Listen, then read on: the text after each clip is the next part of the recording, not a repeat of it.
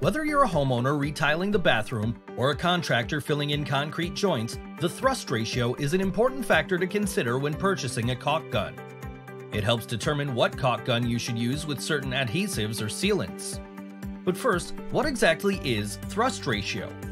The thrust ratio is essentially the amount of power a caulk gun has in dispensing material. For example, a 6 to 1 thrust ratio means that for every 1 pound of force generated on the trigger, there are 6 pounds of force pushing to extrude the material. Furthermore, with the same 6 to 1 thrust, 2 pounds on the trigger yields 12 pounds extruding the material, 3 pounds yields 18 pounds, and so on. The higher the thrust ratio, the stronger the drive mechanism, and the easier it is to extrude the material. One thing to note, however, is the higher the thrust ratio, the less material you extrude with each trigger pull. Here we have a thrust ratio chart. As you can see, thrust ratios can range from 3 to 1 all the way to 34 to 1. Materials like acrylic and silicone require a lower thrust ratio because they are thinner materials.